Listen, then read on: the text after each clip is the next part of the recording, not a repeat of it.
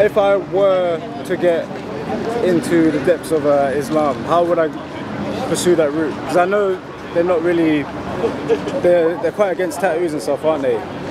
Many Muslims, new Muslims who have tattoos. Yeah, yeah, of course. Okay.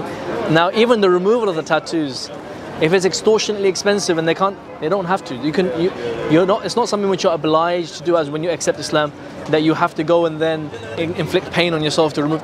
No, look, you did something. Yeah, in, so, so you don't have to create like forms of penance. no, no, you exactly. okay? It's forgiven. You start a new life in whatever whatever way you are.